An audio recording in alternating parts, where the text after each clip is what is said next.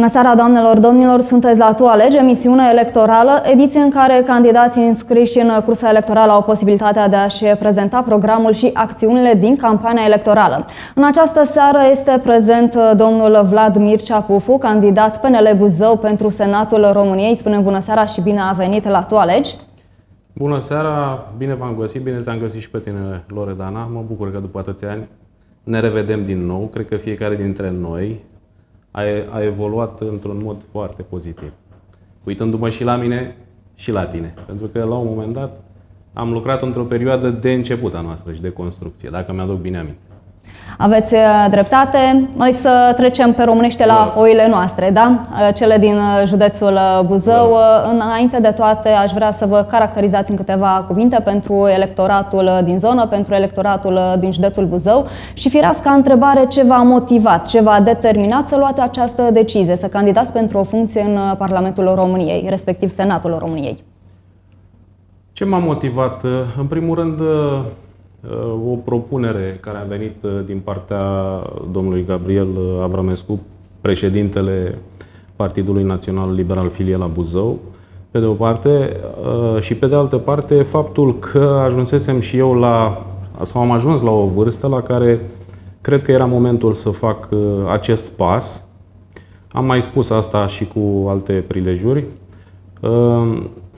Am o experiență căpătată în zona antreprenoriatului media, uh, am făcut multe proiecte personale uh, în Buzău, în județul Buzău și uh, proiecte cu rezonanță națională. Sunt un buzoian, jet be jet, mai degrabă și mai precis sunt chiar râmnician. Sunt născut aici, în Râmnicu Sărat, în 1971, chiar la spitalul din, din Râmnicu Sărat. Am uh, bunicii, am, uh, bunicii mei au fost uh, refugiați din Basarabia. Până aici, până la cartierul Pod, fosta stradă Toplicene, au avut bani, că sau au venit în România cu o căruță, refugiați în 1941, și au avut bani până la Râmnicu Sărat și au luat acolo, au încropit o casă și, drept urmare, păi, mama mea este născută în Râmnicu Sărat, și noi am locuit o perioadă în Râmnicu Sărat. Am copilărit, am, am, am uh, copilărit aici foarte mult timp, veneam în vacanță la, la bunicii mei, care sunt înmormântați aici, în, uh, la cimitirul din Râmnicu Sărat. Deci am amintiri foarte frumoase. Chiar le spuneam uh, colegilor din organizația de aici, locală, cât de mult cumva m-a tulburat această întoarcere, cumva în timp, pentru că am mai venit, recunosc, dar foarte rar în Râmnicu Sărat. Mai vin la, la bunici, la cimitir, mai mult, mai mult mama mea. Sunt buzoian, am făcut, cred că, multe lucruri în plan personal. După cum știți, am venit în 1997 și am făcut cotidianul și buzoian. Ulterior, am uh, lansat uh, FM, TV, sunt niște proiecte media pe care orice uh, buzoian le cunoaște.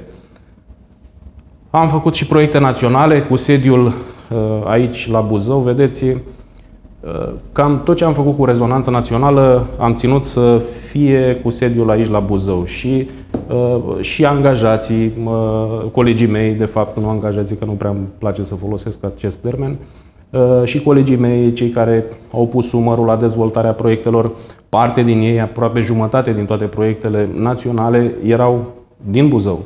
Și am promovat foarte mulți tineri în, uh, în plan național. În principiu, uh, în zona noastră de acoperire pe proiectele noastre, dar după aceea, normal, fiecare dintre ei au luat calea unor alte provocări. Provocarea politică, când a apărut? Provocarea politică este foarte recentă, dar uh, recunosc că în mintea mea undeva, uh, în subliminal, așa, probabil că aveam uh, cumva să ating și acest obiectiv. Îl aveam, pe de o parte, din anumite frustrări, pentru că și eu, ca antreprenor media, cu aproape 100 și ceva de angajați câți avem, Sufeream de multe ori de decizia politică, adică decizia politică care îmi venea întotdeauna în coliziune cu proiectele mele de dezvoltare. Și se vedea clar că multe dintre aceste decizii politice uh, n-au niciun fel de profunzime în uh, actul economic adevărat. Și uh, erau de multe ori uh, rezultanta necunoașterii multora dintre ordonanțele de urgență, dintre legile uh, cu care m-am confruntat de fiecare dată. Și mult de multe ori făceam argumente, amendamente, mai ales pe zona de media, unde în aproape 20 și ceva de ani, 23 de ani, am întâmpinat multe probleme. Adică noi avem uh, firmele cu care am plecat. În 1997 am înființat o firmă la Buzău și pe aceea o avem și astăzi. Bineînțeles, mai avem încă două, dar am plecat cu trei firme în 1997, 2002 și 2004 și avem aceleași firme. Normal că în această viață și în istoricul nostru am parcurs etape cu suișuri și coborâșuri, cum este în viața unei firme. Am trecut prin multe. E, normal că acumulezi la un moment dat frustrare când vezi că sunt oameni care te conduc și care în plan personal nu au avut nici măcar o realizare. Dar nu e culpabil faptul că nu au avut o realizare, ci e faptul că nu vin cu o experiență care să le dubleze cumva acea poziție pe care se află la un moment dat și în care au posibilitatea să ia o decizie. Și de multe ori afectează o decizie care lor li se pare foarte simplă, pentru noi ceilalți de multe ori era o întreagă încurcătură și asta știu foarte bine oamenii de afaceri, oamenii dinamici, oamenii proactivi, oamenii care n-au plecat din țara asta și încă mai stau aici, crezând că România poate să uh, parcurgă și o etapă pozitivă, o, o etapă și mai ales în zona aceasta a Moldovei, unde este obligatoriu să începem o, o, o etapă investițională. Dacă noi din 2021 nu începem un program masiv de investiții în toată zona Moldovei și partea noastră de Muntenia, este foarte grav pentru noi, pentru că vedeți că avem uh, foarte mari probleme cu infrastructura mare. Ce se întâmplă și astăzi la Piatra Neamț? Ce se întâmplă peste tot în România? Uh, s-au întâmplat și cu, podul, cu podurile. Cad peste noi podurile. Uh, o să vedeți că avem probleme și cu barajele. Încă nu au fost Uh, n-au fost ploi majore, n-au fost ploi mari, dar va, când va fi nevoie, o să vedeți că vom avea probleme. Noi avem nevoie de investiții foarte mari în infrastructura mare. Noi de 30 de ani nu am mai construit absolut nimic, nici măcar mentenanța nu s-a mai făcut la ceea ce am preluat noi după 1989.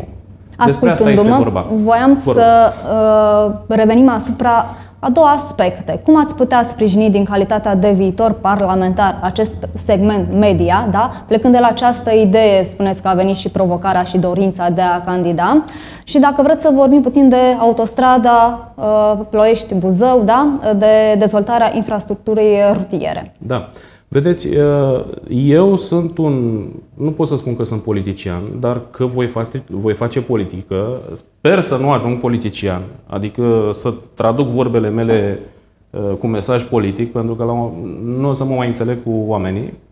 Oamenii nu mai așteaptă de la noi să fim politicieni. Oamenii așteaptă de la noi fapte concrete. Drept urmare, eu mi-am luat, rămân jurnalist cumva în uh, etapa asta, și încerc să comunic cu oamenii cât se poate de sincer cum am comunicat și acum. Nu am nevoie de nicio metamorfoză dintr-o dată să mă fac un abracadabra și să devin un mare politician, că nu ăsta este scopul meu. Am preluat două proiecte și punct pentru această campanie. Unul dintre ele a născut atâta dezbatere și s-a inflamat atât de mult uh, lumea politică locală, este vorba de cel cu banca de gene, unde Conceptul meu a fost următorul și de ce l-am preluat. Chiar dacă este un proiect al Partidului Social Democrat, spun ei în ghilimele că Vă rog foarte mult să nu menționăm să nu numele partide. altor formațiuni. Bun. Uh, este un proiect al unui alt partid, practic este confiscat cumva din punct de vedere, uh, din punctul de vedere al imaginii. Dar el este uh, după o idee a unui cercetător pe care noi toți buzoienii ar trebui să ne bucurăm că îl avem și că el este din Buzău și în uh, spatele căruia putem construi această bancă de resurse genetice pentru legumicultură, trebuie să ne bucurăm pentru că o putem face aici și că avem structura făcută pe, în spatele cercetătorului vânătorul. Drept urmare, el chiar dacă este proiectul cuiva, noi trebuie în continuare să facem politică pentru oameni și nu pentru noi. Așa spun eu și așa cred eu, că de asta am intrat în politică. Și am preluat proiectul, uh, chiar cu toate, uh, ați văzut, rumorile din uh, spatele competitorilor, așa zis, și ai noștri politici. Pe ideea că este un proiect foarte bun pentru Buzău, el va dezvolta atât pe orizontală, cât și pe verticală fermierii buzoieni. Uh, se vor face uh, celule de, de dezvoltare, nu, vor mai, uh, nu vom mai importa, ei nu vor mai importa atâta sămânță. Este o legendă că noi avem aici din Buzău soiuri buzoiene. Cum știți, ceapa de Buzău, varza de Buzău, roșia de Buzău, suntem cunoscuți în toată țara. Din păcate, noi nu suntem asociați, doar prin legendă. Și scriptic, nu suntem asociați în niciun fel. Adică, cum este cazul cârnaților de pleșcoi pe, pe care, uh, cum să zic, pe, pentru brandul lor chiar am luptat cu mijloacele mele de atunci. Cât am putut, am făcut. Am făcut un festival, l-am asociat cu numele, uh, am asociat numele cu, uh, cu județul, cu, cu Buzăul, după care a venit o asociație, l-a înregistrat și astăzi trăiesc foarte bine producători din Buzău care sunt obligați să, ca să, ă, sunt, sunt obligați să producă în județul Buzău. Nu mai produce. Produceau până, până acum, produceam, ă, produceau producători, produceau producători, ă, produceau antreprenori la satul mare, cărnați de pleșcoi. Mi se pare că asta este marea realizare pe care am făcut-o, faptul că acum ești obligat să dezvolți. Asta înseamnă locuri de muncă, asta înseamnă marketing, înseamnă turism, toate astea cumva la un moment dat într-o sumă înseamnă o plus valoare pentru, uh, pentru localitate și pentru județ. Așa ceva trebuie să se întâmple și în această zonă, cu această bancă de gene. Dar pentru asta trebuie să ne dăm mâna cu toți parlamentarii și să recunoaștem, dincolo de orice orgolii politice, că trebuie să luptăm fiecare pe felia lui și pe partidul lui, da? să aducem în Buzău proiecte uh, pentru comunitate. Alte proiecte parte. vizate pentru dezvoltarea județului Celălalt Buzău? proiect este un, uh, un de fapt, uh, eu am, eu am preluat o idee că nu construiesc eu o autostradă, e vorba de autostrada A7, Muntenia Express. Uh, este, pe noi ne interesează să investim în Buzău și să aducem în Buzău proiecte mari, de infrastructură mare, care să aducă uh, economiei un, uh, un salt. Și, după părerea mea, autostrada asta ar putea să facă să ridice Buzăul din punct de vedere economic uh, cu uh, cel puțin 100%, dacă nu cu mai mult. Uh, pentru asta, autostrada de care facem vorbire, eu am pus mâna pe telefon, m-am interesat, am intrat într-un grup de lucru cu ministrul dezvoltării, cu domnul Ionus Ștefan, care este de la Vrancea. Uh, dânsul este în egală măsură și dânsul interesat de proiectul uh, autostrad, uh, autostrăzii Buzău-Focșani. Și atunci m-am integrat în acest grup și am pus mâna pe telefon și lucrăm, lucrăm deja. În fiecare săptămână acest grup se reunește, dânsul uh, este membru acolo și uh, îmi dă, avem informații, ne zbatem, dăm și noi la rândul nostru informații și astăzi, pe de o parte, pot să prezint următoarele lucruri. Faptul că din drum expres, autostrada, uh, din drum expres a devenit uh, drum de mare viteză, adică autostrada, asta este un lucru extraordinar. Doi, S-a predat deja studiul de fezabilitate, e un pas mare înainte, iar astăzi am anunțat pe Facebook-ul meu cel de-al doilea mare pas înainte, uh, pe care îl vom face în luna decembrie, când va fi gata proiectul tehnic și caietul de licitații. Practic, suntem aproape uh, de organizarea licitației pentru desemnarea constructorului acestei autostrăzi. Vă dați seama cât de înaintat suntem cu acest proiect? Adică noi în luna decembrie, dacă organizăm licitația, ce înseamnă asta? Că șase luni, probabil, că vor fi, uh, va fi o etapă de contestații, cum se întâmplă la toate licitațiile, dar mai mult de șase luni, probabil că, că nu vor trece până când se va uh, procede la uh, construcția autostrăzii. Asta înseamnă că în luna iulie, probabil, anul viitor, e posibil, până în luna iulie, e posibil, maxim până în luna iulie, e posibil ca noi să începem uh, să demareze lucrările acolo cu câștigătorul desemnat. Care e misiunea mea ca și parlamentar? Vă spun, este de a sta zi de zi de zi de zi cu mâna pe telefon și de a face acolo uh, drum la ușile uh, decidenților din zona Ministerului Transporturilor și să supraveghem termenele. Ca toate termenele astea să fie uh, îndeplinite și toate procedurile să fie îndeplinite la termen, astfel încât, din momentul în care începe construcția autostrăzii Buzău, uh, uh, Ploiești-Buzău, Doi ani de zile durează construcția și noi în doi ani de zile, practic în 2000, maxim 23, uh, vom avea autostradă la Buzău. Spuneți noastră că veți monitoriza uh, da, modul e... în care se vor desfășura lucrările, în care vor, uh, se vor efectua toate etapele acestui uh, proiect destul de complex. Vedem din acțiunile noastre de campanie că ați luat la pasă toate cartierele municipiului reședință de județ, ați fost și în comunele județului Buzău. Care sunt solicitările oamenilor? Știți, mă gândesc, mă gândesc la întrebarea noastră și nu știu ce să Vă spun mai întâi, oamenii s-au săturat din ce constat. Am făcut și rural și municipiu. În primul rând că sunt, sunt surprinși că sunt chiar eu cel care îi bat în poartă și îi spun, știți, sunt eu, un uh, senator, posibil dacă dumneavoastră uh, aveți încredere să votați și, și altceva, pentru că noi suntem sub ocupație acolo. Noi trebuie să ne recuperăm democrația la Buzău și în județ, uh, pentru că pentru asta am luptat în acum 30 de ani, să avem democrație. La ora actuală nu mai există. Partidul Național Liberal uh, nu mai are nicio forță nicăieri, nici în Consiliul Local, nici în Consiliul Județean și pentru asta uh, e, una, e unul dintre motivele pentru care să știți că am intrat. Adică Vă rog să trecem la Vă celălalt rog, aspect da. ca să nu alunecăm da, nu alunecăm, am grijă, am grijă, da. Oamenii își doresc mai puțină gâlceavă și mai multă acțiune. Asta Uh, este o primă concluzie evidentă pe care o am după aproape două săptămâni de luat la picior Buzăul și în mediul rural și în mediul uh, și în, și în municipiu.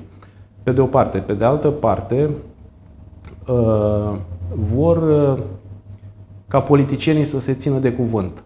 Și am observat că există o anumită blazare în rândul electoratului, adică se consideră înșelat se consideră cumva că nu a fost luat în seamă, că oricum nu mai este de făcut nimic în această țară și le explic că tocmai în această țară este de făcut și sunt de făcut foarte multe lucruri.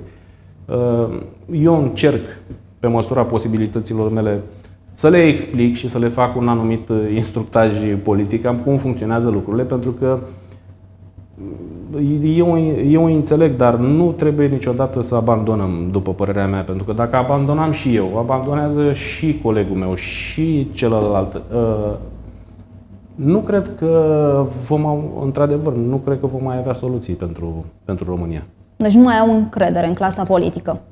Da, e o anumită doză de neîncredere în clasa politică și, în general, în general, în politicieni punctual au niște ținte, câte unii pică așa în, în vizorul electoratului și nici că reușesc să-i mai scoți. Norocul meu, sper să n-ajung așa peste patru ani.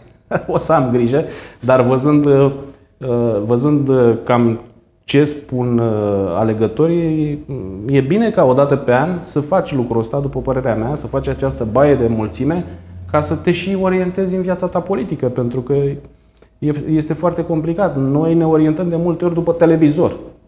Ori este un ecart, este un decalaj între televizor și ceea ce vor oamenii. Sunt și influențați de televiziuni, în general, dar să știți că ei au problemele lor punctuale, care, sunt, care țin de proximitatea locului lor, unde, unde se află ei. Că n-au gaze, că au gaze, că sunt că nu au apă, că apa nu funcționează, că s-a spart apa, că sunt multe probleme care țin de primărie și altele pe care le și preiau, care țin într-adevăr de uh, politicile parlamentare.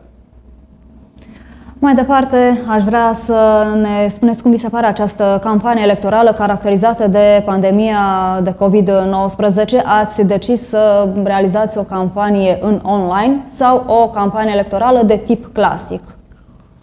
Deci eu am spus că după, uh, după campania aceasta o să scriu și o carte, candidat în pandemie.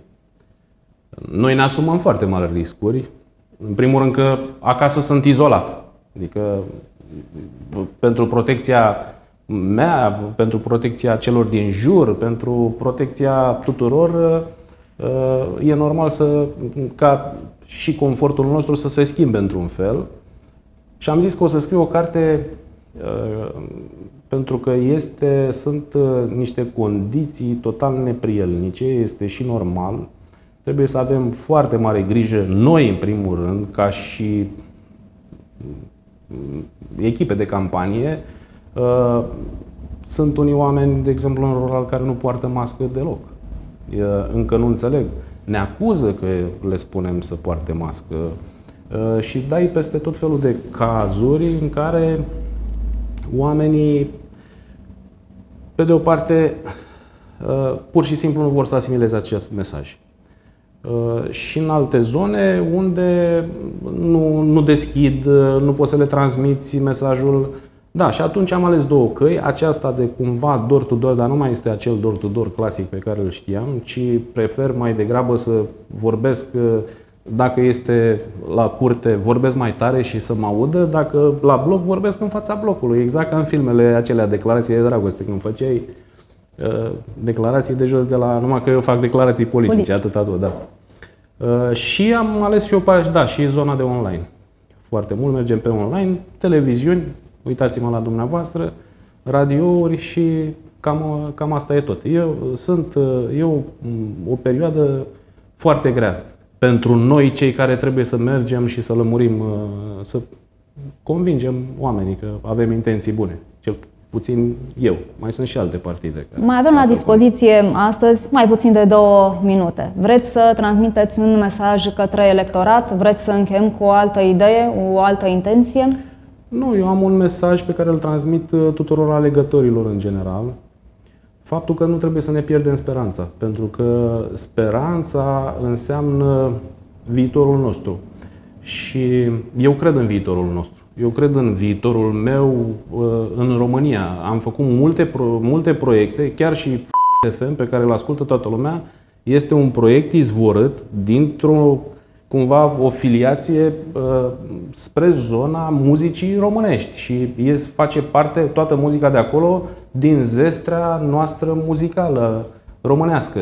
Și atunci, cred că nu trebuie să ne pierdem speranța. Pe măsură ce merg în rural, în rural, e drept, am mai fost, dar eram în anumite locuri unde mă duceam, că erau zone turistice. Dar acum am luat tot județul la, la picior și sau la pas. Uh, și constat că avem un județ extraordinar.